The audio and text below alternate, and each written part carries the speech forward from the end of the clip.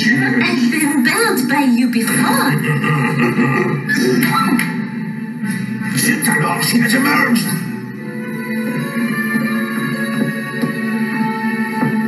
Come on, Chip.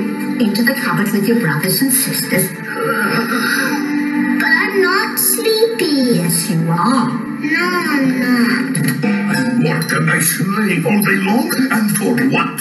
A jewelry masterpiece called to waste. Oh, stop your grousing. It's been a long night for all of us. Well, if you ask me, she was just being stuck. After all, you could say please. But if the master doesn't learn to control that temper, he'll never break it. Splendid to see you out and about, mademoiselle. I am Cogsworth, of the household. This is Lumiere. Enchanté.